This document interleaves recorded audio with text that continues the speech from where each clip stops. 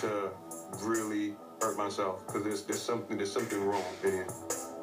I, I also take um, a lot of drugs. Uh, what kind of drugs? Cocaine, And, and what else? um, MDMA, Molly. All I've been telling is lies. I've been trying to hide it from everybody around me, but the truth is, I haven't been clean in months. How often do you take these drugs?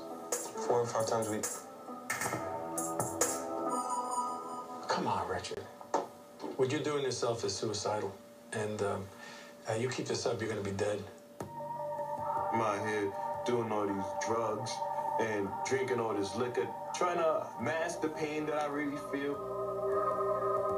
Just like to be numb. I don't know how many I can't take it no more, you. I don't know how many drugs allowed your friends. no.